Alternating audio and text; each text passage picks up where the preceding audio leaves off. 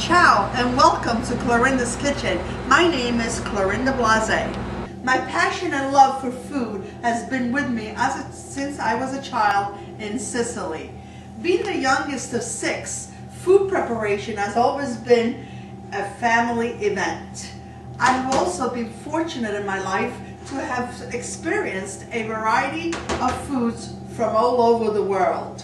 I believe that anyone can prepare a great meal with simple, everyday ingredients and feel the warmth when it's shared with family and friends. What else can we ask for? We are going to prepare costatini oreganati. In simple English, it just means chops with oregano. You can use, today I am using lamb chops, but you, of course you can always use pork chops if you don't like lamb chops. To begin with, I poured about a, a tablespoon of olive oil in the frying pan. Not too much because lamb chops are originally very fatty. Then you put a little bit of salt, a pinch of salt, a little bit of fresh ground pepper, and that's it. This meal literally takes no more than six or seven minutes to prepare. Mmm, I can always smell that great warmth of the food. And lamb is something that brings me back home. My mother was the best preparer of lamb. You lower your heat because in that same frying pan, we're just going to add about two cloves of garlic.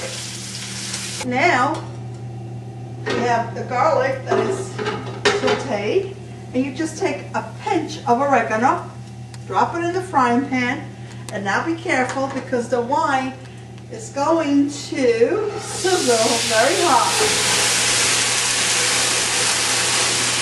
Let this come to a quick boil.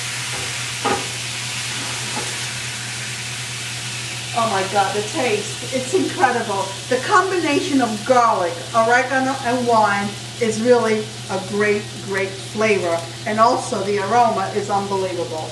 You shut it off. Grab your frying pan. And just pour it right over the lamb chops. Don't forget that garlic. Gotta eat that garlic as well. Here you have it. Costatini oreganati. Buon appetito.